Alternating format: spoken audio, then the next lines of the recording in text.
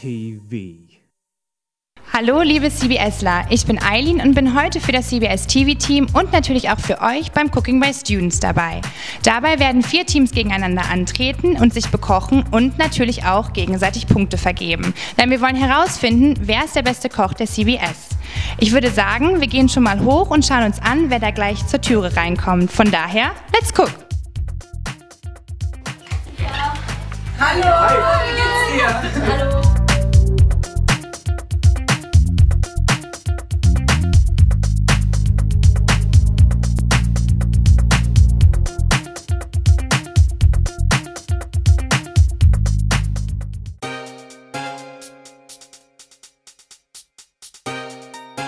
Wir sind jetzt hier auch schon in der ersten Wohnung. Fefe und Guni sind schon ganz fleißig am Brutzeln im Hintergrund. Und ich würde sagen, wir schauen uns mal an, was die beiden da gerade vorbereiten. Fefe, erzähl uns doch mal, was du da gerade machst. Ähm, ich mache hier Dumplings und ja, ich brate die. und Guni, was machst du da gerade schön? Es sieht schon mal sehr gut aus. Ja, eine Currysuppe mit äh, Zitronengras. Oh, lecker. Da läuft mir das Wasser im Mund zusammen. Ich hoffe, die beiden haben auch noch was für das CBS TV-Team übrig.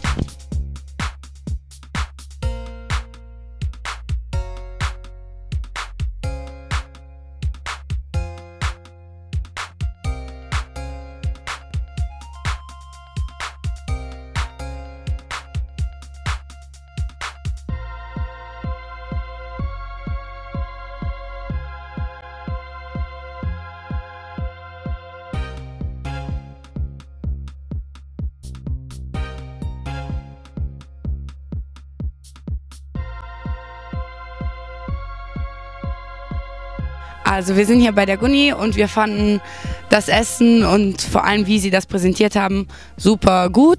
Ich esse normalerweise keinen Fisch, also ich mag gar keinen Fisch und sie haben, sie waren extra so nett und haben ein Sushi ohne Lachs gemacht, nur mit Avocado und das fand ich äh, ja gut.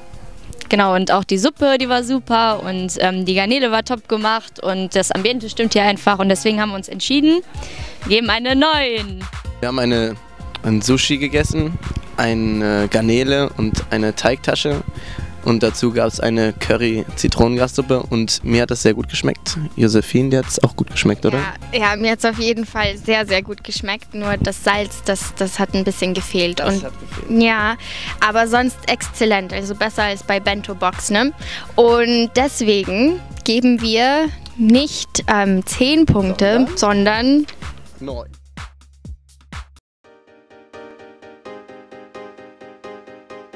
Wir sind jetzt hier bei Lea in der WG und Lea und Victoria sind auch schon am Vorbereiten für die zweite Vorspeise und am besten finden wir mal heraus, was die beiden gerade zaubern. Ja, also bei uns gibt es Flammkuchen und Feige im eigentlich Speckmantel, aber es ist eher so ein äh, Speckteppich geworden und dann noch Tomate Mozzarella.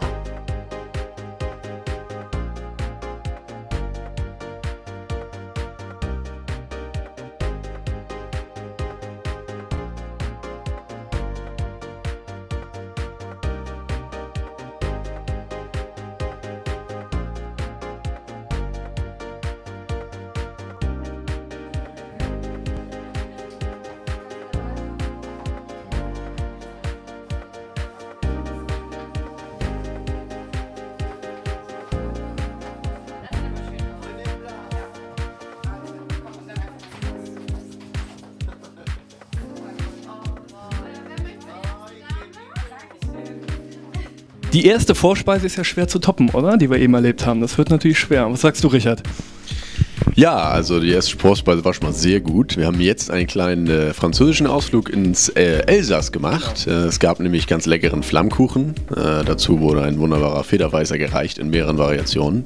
Rein kulinarisch hat uns das sehr gut geschmeckt. Der Flammkuchen war wunderbar gegart. Äh, der Speck war schön würzig, hat gut zusammengepasst. Die Feigen auf Speck, auf dem äh, Schwarzwälder Schinken haben waren auch eine sehr gute Komposition dazu.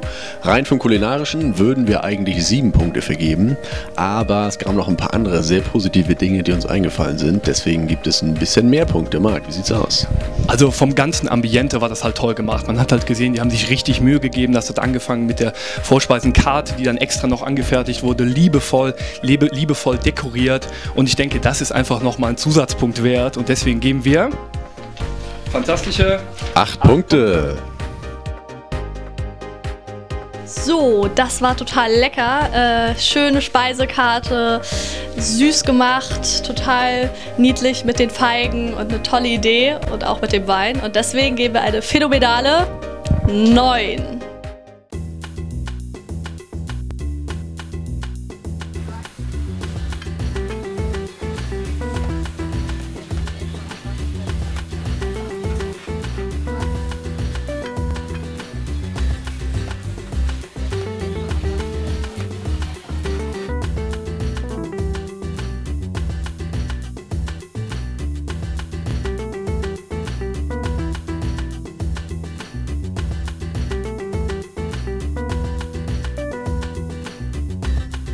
Also wir sind gerade bei Fred und Josie und sie haben uns Putenfleisch mit Kartoffelchips, mit Rosmarin und selbstgemachter Kräuterbutter angeboten. Aber so sehr ich euch auch mag, war leider nicht so gut. Tut mir leid. Ah, Scherz! So, wir waren eben bei Fred, es war super lecker. Die, haben sich, die beiden haben sich echt Mühe gegeben und dafür gibt es von mir eine 7. So, ich habe dem so gut wie nichts mehr hinzuzufügen, außer dass ich Kräuterbutter liebe und dafür gibt es von mir eine 8. Wir geben dem Fred oder Josephine ganz liebe 9 Punkte.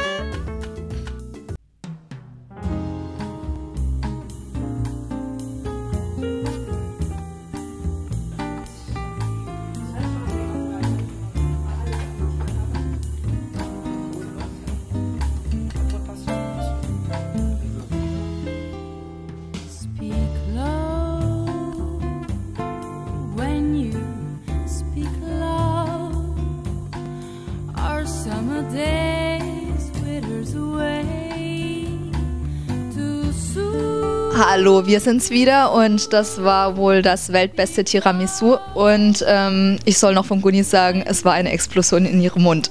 Und genau deswegen geben wir eine 10. Jo.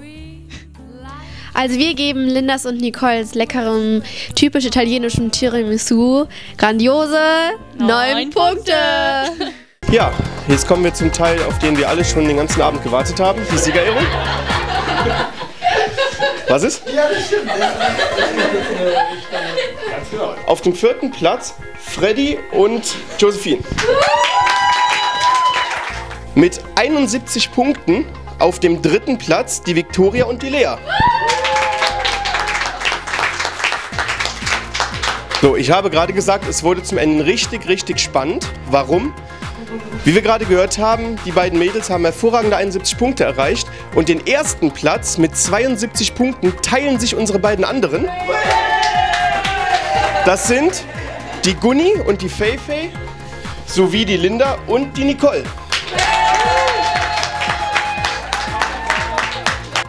Und für den ersten Platz haben wir uns noch was ganz Besonderes ausgedacht, nämlich ein Präsentkorb extra fürs Kochen, einen Feinschmeckerkorb mit Funny Frisch, mit wunderschönem Öl, mit Pasta, mit Chili, Basilikum, ganz frisch. Und vielleicht ladet ihr uns dann nochmal alle zum Kochen ein, wenn ihr die ganzen Zutaten verwendet. Herzlichen Glückwunsch.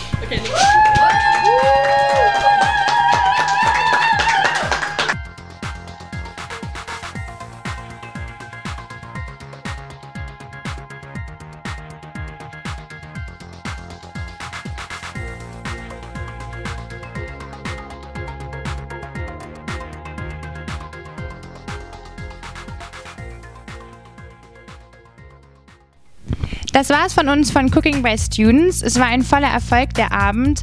Alles ist weggeputzt, alles war super lecker und hat ganz viel Spaß gemacht.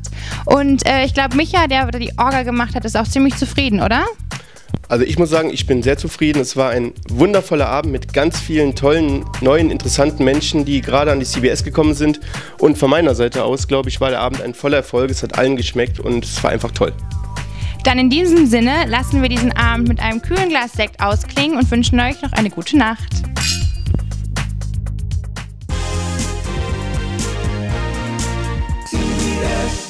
TV. Thank you.